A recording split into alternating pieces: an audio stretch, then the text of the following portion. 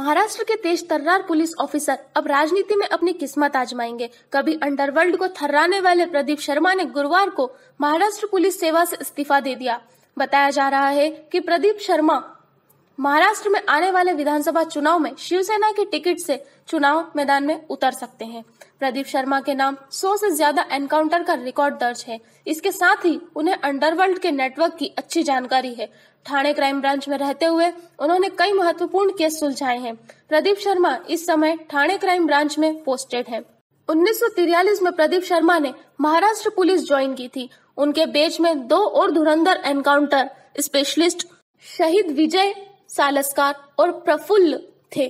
प्रदीप शर्मा, प्रफुल्ल और शहीद विजय सालस्कार तीनों महाराष्ट्र पुलिस के उन्नीस बैच के अफसर थे। ये तीनों ही अफसर बदमाशों को ढेर करने के मामले में पूरे देश के लिए आदर्श रहे।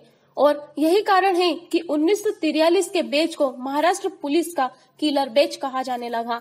इस बेच के अफसरों ने दाऊद इब्राहिम के छोटे भाई राजन और अरुण गवली जैसे खतरनाक अंडरवर्ल्ड गैंग्स के 300 से ज़्यादा मेंबर्स को ढेर किया है।